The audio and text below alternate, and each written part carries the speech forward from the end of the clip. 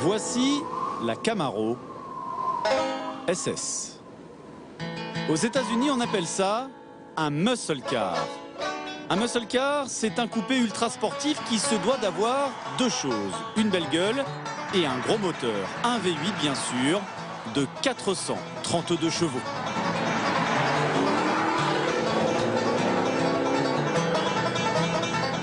Mais en Europe, on sait aussi faire ce genre voiture. Voici l'Audi RS5. C'est aussi un coupé, équipé également d'un V8 de 450 chevaux, mais l'idée n'est pas du tout la même.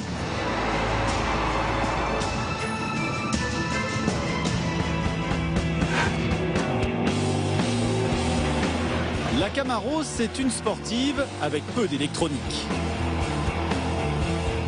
L'Audi, elle, privilégie la technologie. Regardez, ça c'est un V8 à l'américaine, une conception très basique. Et ça, c'est un V8 à l'allemande, beaucoup plus technique. Il y a plein de choses, ça a l'air beaucoup plus compliqué. De voitures donc à la philosophie complètement différente.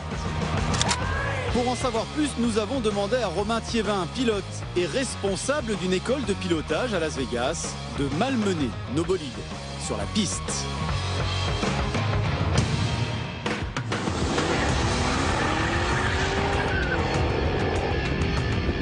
C'est une propulsion, deux roues motrices à l'arrière.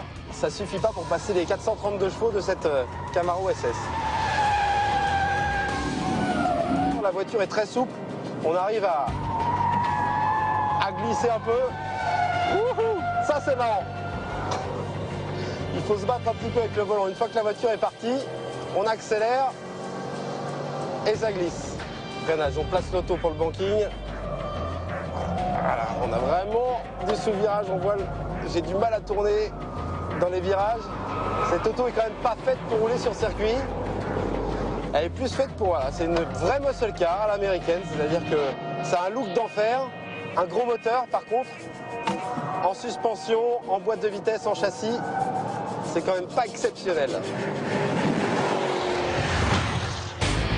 Je lance le launch control, j'appuie sur les freins, 5000 tours.